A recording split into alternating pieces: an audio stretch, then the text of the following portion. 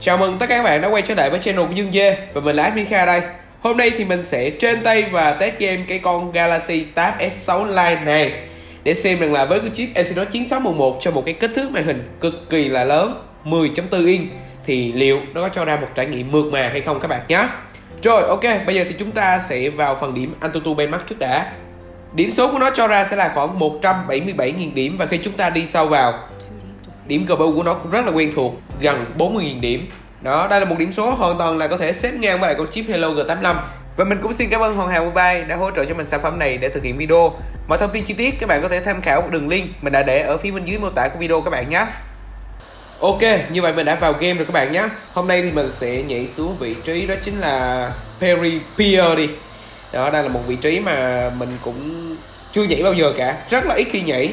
Thôi, chơi một cái à, ván cho nó an toàn tí nè Tại vì bây giờ cũng đã khuya rồi 11 giờ rồi. Ok, vậy thôi. Con này thì theo như cá nhân mình thấy Chơi nó sẽ dễ hơn so với lại iPad các bạn à Tại vì cái tỷ lệ màn hình nó dài hơn. Ở 5.3 thì nó cũng sẽ tìm cận với lại à, tỷ lệ 16 chia 9 rồi Nó cũng sẽ hơi dài Cho nên thành ra khi thao tác thì nó cũng sẽ dễ dàng hơn. Đó, Nó cho mình một cái cảm giác gì đó khá là quen thuộc so với lại một chiếc à, điện thoại. Cho nên là thành ra thì nó chỉ hơi to về mặt cái thứ màn hình thôi, chứ nó cũng không có chênh lệch quá nhiều đâu. Bung dù rồi đáp dù rất là mượt mà các bạn nhá. Ok. Tuy nhiên thì chơi với một cái màn hình lớn như thế bắt buộc là chúng ta phải thao tác bốn ngón thôi. Đó là điều chắc chắn. Mọi thứ trên này thì nó đều to cả, cho nên là chúng ta có thể dễ dàng thao tác được bốn ngón. Tuy nhiên thì mình cũng chưa quen lắm. Đó, chơi ba ngón là chủ yếu thôi. Đối với lại tựa game liên quân mobi thì thao tác nó sẽ dễ hơn một tí so với lại tựa game PUBG mobi từ game PUBG Mobile thì nó yêu cầu thao tác phải là nhiều phím cùng một lúc ấy, liên tục ấy, cho nên là nó sẽ hơi khó để làm quen. Nhưng mà không sao, đối với những nút mà nó to như thế này thì cũng sẽ dễ dàng cho chúng ta thao tác hơn. Đó, không bị ấn nhầm hoặc là ấn không trúng vào như là trên điện thoại.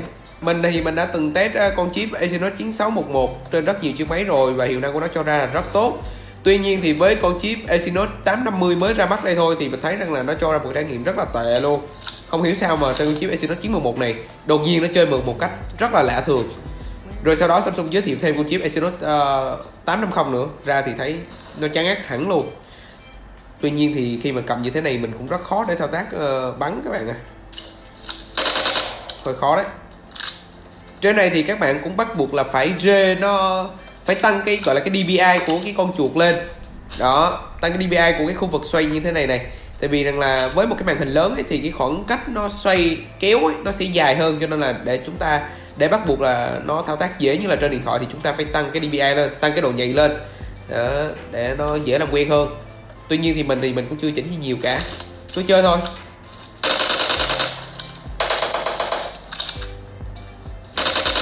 Nói chung bắn cũng được. Dễ làm quen hơn rất nhiều so với lại ipad. ipad thì mình thấy rằng là nó cho ra một cái cảm giác nó nặng hơn con này thì nếu như mình nhớ không lầm thì nó nặng tầm khoảng là gần nửa ký thì phải, hơn 400 gram ấy. Cho nên là thao tác như thế này thì ờ, nếu như các bạn nào mà cầm mà không có điểm tựa thì nó sẽ rất là dễ mỏi luôn. Nhưng mà được cái chơi rất là mượt các bạn à. Tấm này TFT thì nói chung nó cũng không có gì đặc biệt lắm về cái màu màu sắc. Và kể cả là chất lượng chi tiết nữa. Full HD thì nó cũng về chất lượng hiển thị thì mình đánh giá con này ở chỉ mức trung bình thôi, không có gì đặc biệt cả. Tầm này thì chúng ta chọn iPad thì nó sẽ cho ra một cái trải nghiệm nó tốt hơn rất nhiều rồi đó cho nên con này thì nó mình không biết là mục đích nó ra mắt để làm gì và có thể cạnh tranh được với ai. Con này tầm 6 triệu thì may ra cái book S Pen đó nó mới thấy rằng là đáng giá thôi. Chứ còn 8 triệu thì cũng hơi khó. Được cái thiết kế cũng đẹp thiết kế đẹp. Đây thì mình ờ, công nhận này. Viền mỏng rồi uh, mặt lưng vuông vức các thứ trông rất là hợp thời. Từ nãy giờ chơi thì rất là mượt các bạn nhé và nhiệt độ gần như là không có cái gọi là nóng luôn ấy để mình xem thế này. Đúng rồi rất là mát luôn các bạn à. Nhiệt độ trên cái con này rất là tốt đó nha. Mình nghĩ rất là khả năng cao tại vì do nó có một cái kích thước lớn ấy, cho nên nó cũng sẽ tản nhiệt tốt hơn. Đó, nhưng mà cái phần nhiệt ở đây thì mình cũng không thấy. Mặt lưng của con này thì nó được làm từ nhựa nên là mình nghĩ cái việc tản nhiệt của nó cũng không hẳn là được tốt lắm đâu. Cho nên để mà chúng ta có thể cảm nhận được nhiệt lượng tỏ ra thì nó cũng hơi khó.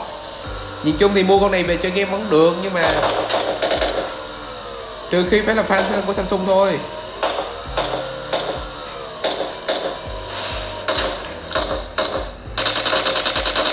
Hơi khó ôi ôi ôi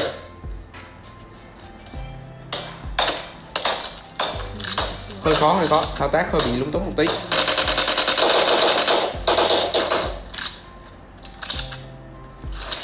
Nhưng mà chấp nhận thôi, biết sao giờ?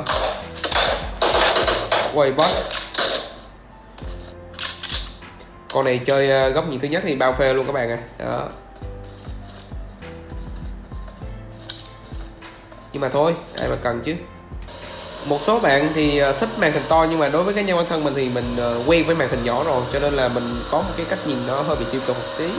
Thật ra thì mình không thích lắm về cái lối thiết kế màn hình to như thế này. ipad thì nó cũng không hẳn là nó giúp cho mình có một trải nghiệm sướng hơn ấy.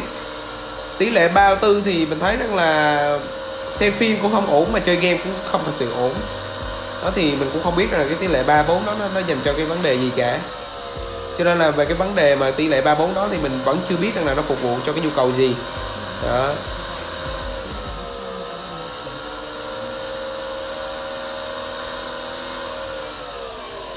Đáng lẽ là hình như là cái tỷ lệ 34 là dành cho cái tỷ lệ cũ đó các bạn à. Tại vì là mọi thứ bây giờ nó đang phát triển là càng lúc nó càng dài ra ấy, chứ không phải là vuông như là trên cái chiếc iPad.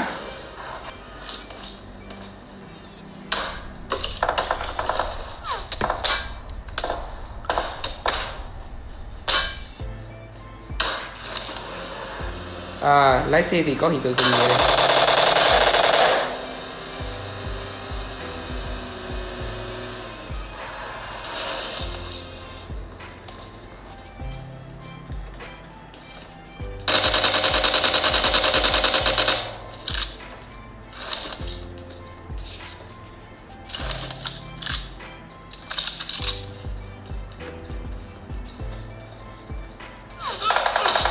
Ui, ui, ui, chỗ này đông đấy các bạn à, toan thật.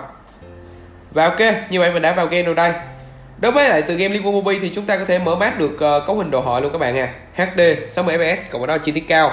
Tuy nhiên thì tại vì con này nó sử dụng cho chúng ta là một cái độ phân giải chỉ dừng lại ở HD thôi nên khi vào game thì nó sẽ hơi rỗ một tí. Đó, mặc dù là chúng ta đã để ở độ phân giải cao nhất rồi. Muốn gì? đây, Cướp hộ cái chơi rất là mượt các bạn à không có hiện tượng bị drop và kết nối ờ, sóng rất là tốt các bạn nha. Đó, wifi không gặp vấn đề gì cả.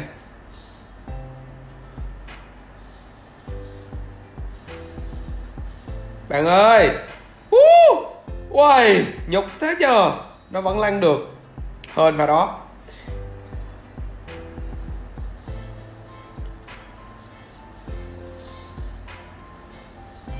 Chị đi đâu nữa bạn? Chị đi đâu nữa bạn? Hả?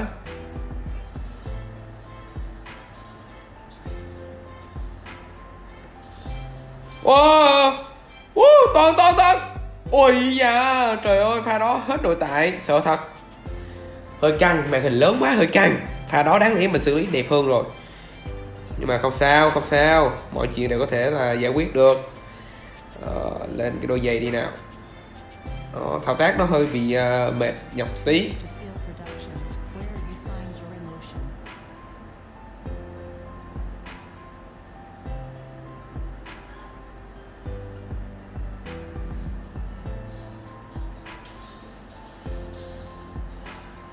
Ôi thôi thôi thôi thôi.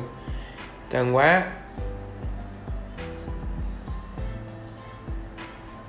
Hơi bị khẩn nhẹ này. Drop xuống uh, 57 fps nhưng mà thôi, không sao, biên độ dao động này là rất là bình thường.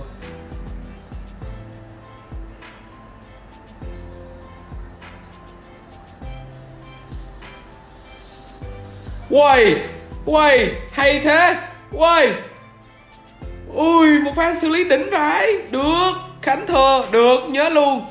Trời ơi, pha này là do mình cầm iPad thôi Là âm lục Pha này là do mình cầm cái con Galaxy Tab S6 Lite này thôi. EPS bây giờ nó đang ờ, có hiện tượng là dao động hơi bị cao các bạn à. Vừa nãy mình thấy còn 56 này. Khả năng cao thì mình nghĩ về cuối trận thì nó cũng chỉ tầm khoảng là năm mấy là cùng 50 ờ, thấp nhất là thế. Tại vì mình thấy là nhiệt độ của con này nó cho ra rất là ổn. Về về. Một không nó xuống chưa? Một. Ui đi rồi kìa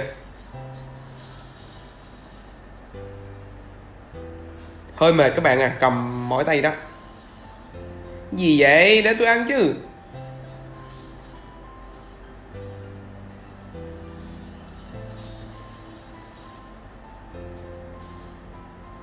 Khó đấy, không không có lính. Ăn mắt con lính kia, mình không có nội tại mình để mình tích các bạn à.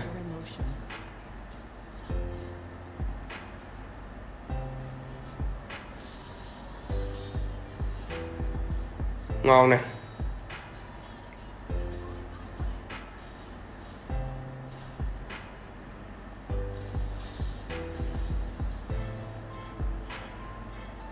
Wow! Woo! Trời ơi, đang hết skill mà.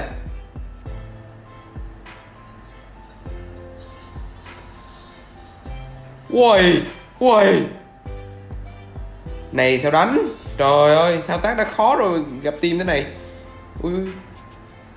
Uầy! Được.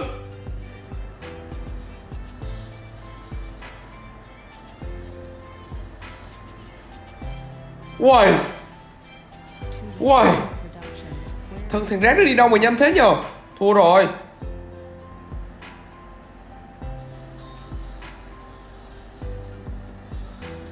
Ui Chết này 500 vàng. Chơi thì rất là mượt thôi các bạn à. FPS thì nó cũng sẽ dao động từ đâu đó 55 đến 60 Nên đây cũng không phải là một vấn đề quá lớn cho lắm.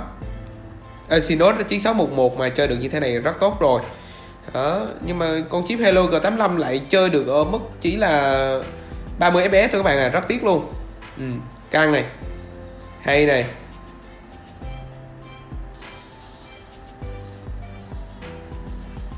Uh! trời ơi khó chơi quá thua.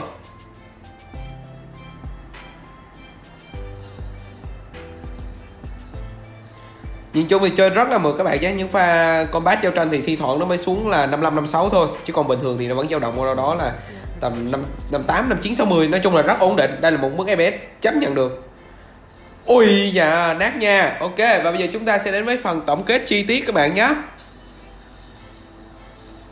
Về trải nghiệm cầm nắm, với khối lượng tổng thể là 467g, thiết kế khung viền và bốn góc được bao cong như hơi vuông vức, tổng thể có một thiết kế liền mạch, nhưng hơi nặng và cầm khá mỏi tay.